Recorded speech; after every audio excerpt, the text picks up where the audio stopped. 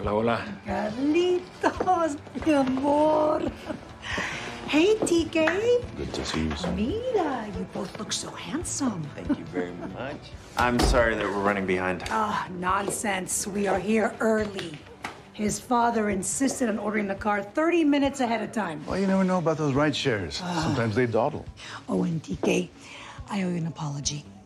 That day we met at the market, I called you TJ. No, it's it's okay. It's a it's an easy mistake. That our son should have corrected. Hmm. Oh, don't worry, Mr. Reyes. We we had a conversation about it, didn't we, Carlos? Yes, we did. Mm-hmm. So, what can we get you to drink? I wouldn't say no to a margarita. Make it those. Yes, yes, yes, yes. Miss Reyes, please. Thank you. Oh my God. I forgot about the limes. How could I forget the limes?